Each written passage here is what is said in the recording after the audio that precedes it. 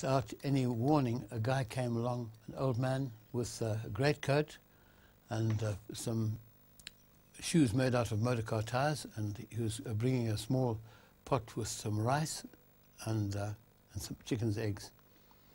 And he said, uh, uh, this is to, to, to welcome you to this country. He said, I am the chief of this area. I'm the keeper of, these, of the spirits here, the lion man spirit and the uh, the ancestral spirits. And he said, this place is called Tengenenge. And uh, means two hills. So we'd like you to call this area Tengenenge. So I said we'd call it this place Tengenenge.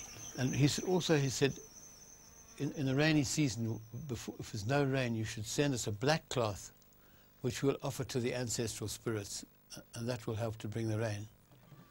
So sure enough, every year we used to, when there was no rain, we used to send that.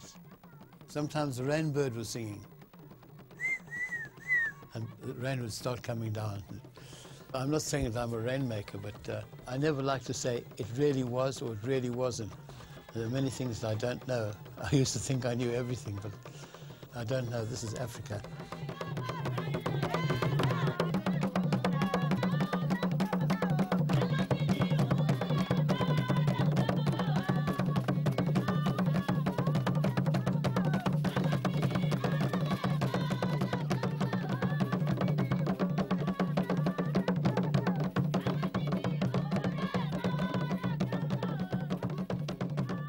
When the old chief died, we, we brewed some, some beer, uh, 900 liters of beer, and we killed, we killed a bull.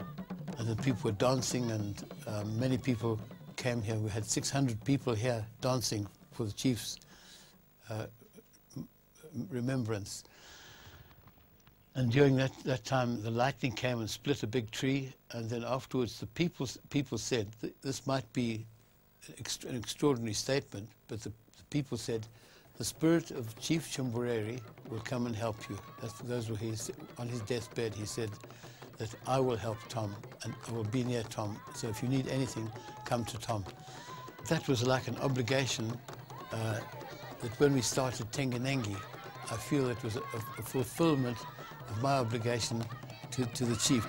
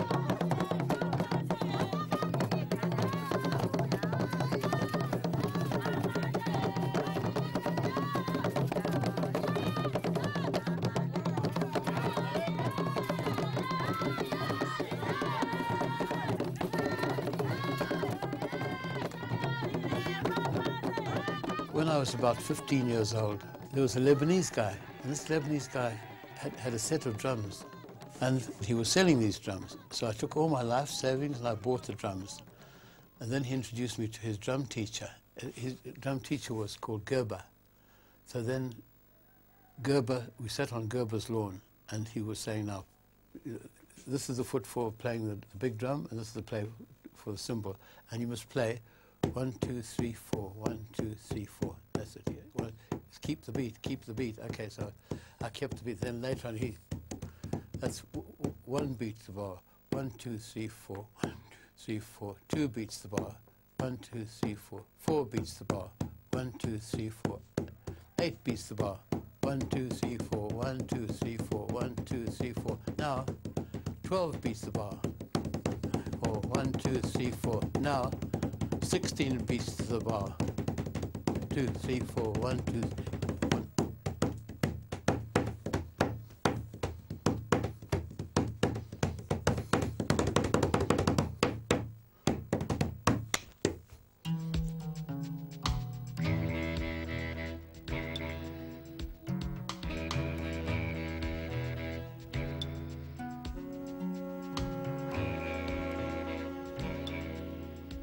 when I first came to Zimbabwe, by that time I was 20, 20 years old, I was reaping the tobacco in the tobacco fields with young Malawi girls, all speaking the, work language.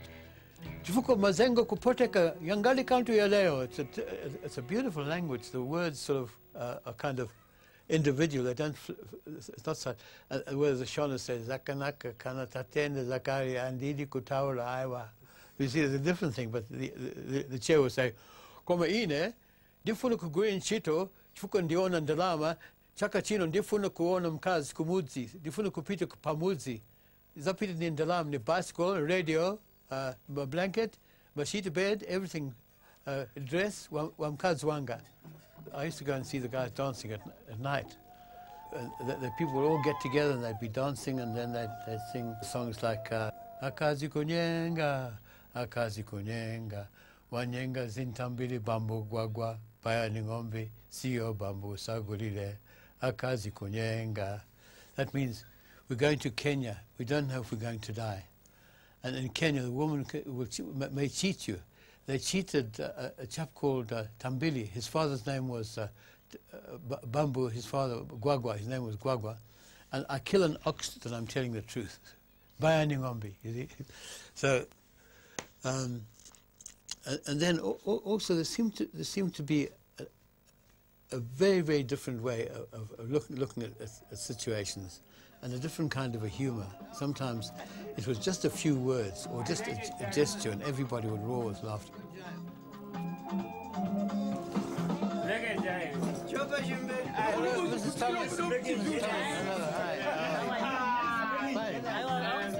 Very good, very good.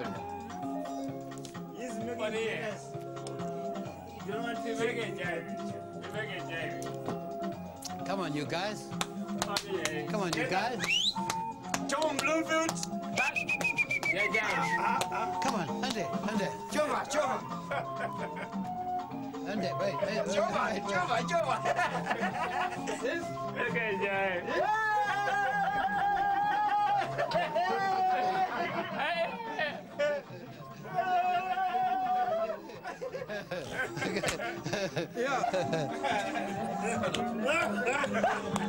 Ah, yeah.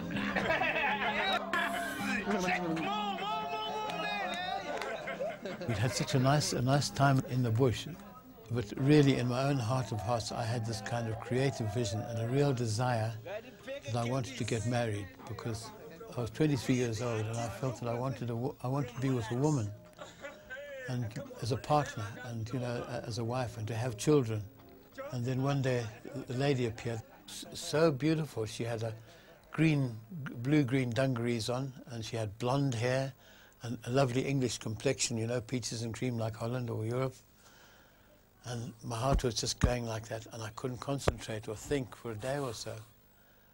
And then I had the opportunity to go to a, a gymkhana where they had all the horses, and uh, the, the, people people were, were, all English colonels and ex-Air Force commanders and uh, rich farmers' sons and some aristocrats, Lord so-and-so and Sir somebody, and a very, very, uh, a, very, very um, powerful social order was going on there. And uh, they said, oh, come on, James, get that horse out of the wagon, and then um, and, uh, uh, Cyrus, uh, put the saddle on that grey mare there uh, with, the, with the snaffle and the bridle and uh, a martingale. Um, and uh, look out, Leo, get that bloody horse out of the way.